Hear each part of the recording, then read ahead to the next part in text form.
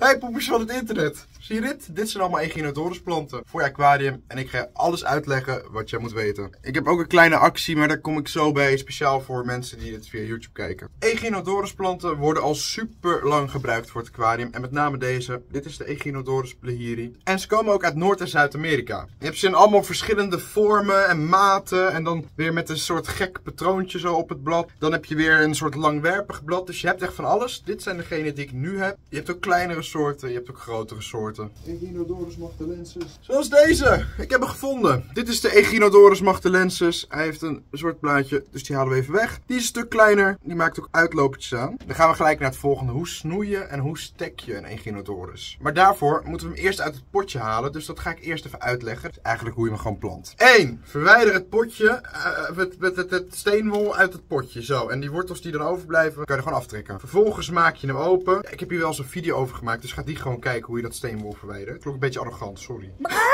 Maar je maakt hem dus open en dan trek je alle misvormde blaadjes, die trek je er gewoon vanaf. Deze is misvormd en die trek je er gewoon helemaal vanaf door hem gewoon naar beneden te trekken. Niet halverwege, ook niet een half blad zo verwijderen of in dat blad gaan knippen, want dan rot heel het blad weg en dat heeft gewoon helemaal geen zin. Al die losse steeltjes zonder echt blad eraan, ook verwijderen. Nou, dat doe je dus gewoon zo een beetje, zo, zo. En dan zien we eigenlijk al dat deze niet uit één, maar uit, ga uit elkaar, uit twee rosetten bestaat. Nou, moet je een beetje een ruim plekje zoeken in je aquarium en daar plant je hem dan gewoon in. En wat je dan doet, super belangrijk, is je plant hem, als dit zo het grind is, plant hem heel diep. Dus nu zit hij veel te diep. En dan trek je hem langzaam omhoog. Waardoor eigenlijk net aan dat kroontje, dus dat witte wat je daar ziet, net aan boven de grond uitkomt. Want anders stikt hij. Wil hij nou niet blijven zitten in het grind, pak je zo'n keramische ring. Die wordt meegeleverd. Daar doe je gewoon wat wortels tussen. En dan kan je hem zo planten, want dan is hij stuk zwaarder. Oké, hoe stekken snoeien dus een Echinodorus? Daar komt deze kleine rakker bij kijken. Rakker? Ik heb zo'n R. Wat verschrikkelijk. Uh, zoals je ziet maakt hij uitlopers aan. En daar groeien gewoon kleine stukjes Echinodorus aan. Die uitlopers kan je gewoon laten zitten. Dat doen ze allemaal. Of je nou zo eentje hebt of zo'n kleine. Ze maken allemaal uitlopers aan. Op het moment dat die uitlopers een worteltje hebben van een paar centimeter. Of bij deze kleinere echt maar een centimeter. Dan kan je hem verwijderen. En dan kan je die gewoon weer losplanten. Maar je kan ook ervoor kiezen om hem gewoon te laten gaan. Want dan blijft hij uitlopers maken. En dan gaat hij zo door heel je bak. En dan gaat het een beetje op een natuurlijke manier. Ja, je kan hem voor de rest niet echt stekken. Dat doet hij helemaal vanzelf. Dat doet hij echt helemaal vanzelf. Dan maakt hij nieuwe rosetten aan zoals je hier ziet. Zijn eigenlijk ook twee. En een roset is dus zeg maar dat kroontje waar die dan zo uitgroeit. De meest voorkomende voedingstekorten bij Echinodorus soorten. Er zijn twee tekorten die heel vaak voorkomen. Maar eerst ga ik je uitleggen wat de actie is. Namelijk heel deze week kan je deze code gebruiken op mijn webshop. En daar krijg je gewoon extra korting op alle Echinodorus soorten. Dus wil jij een Echinodorus, uh, gebruik deze code. Dan krijg je extra korting. Dus uh, ja, dat is leuk als je een Echinodorus wilt of zo. Het is trouwens veel. Ik moet een beetje opschieten, want ze drogen een beetje uit. Uh, snel.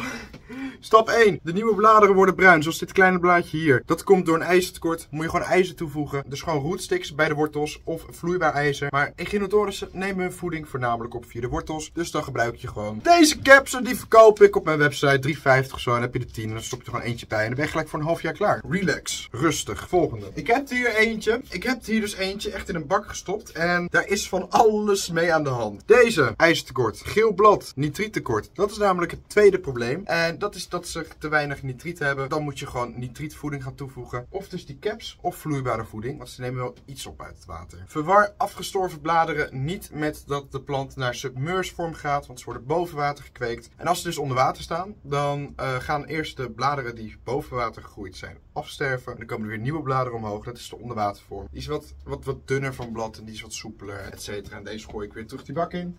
Want die is helemaal niet goed. Uh, mocht jij meer willen weten over verschillende plantsoorten, heb ik hier een afspeellijst voor je. Daar kan je op klikken. Daar kan je gewoon, ja, gewoon scrollen tussen de planten waar ik uitleg geef. Dankjewel voor het kijken. Vergeet die kortingscode niet. En een fijn weekend nog, want het is zondagochtend. Doei.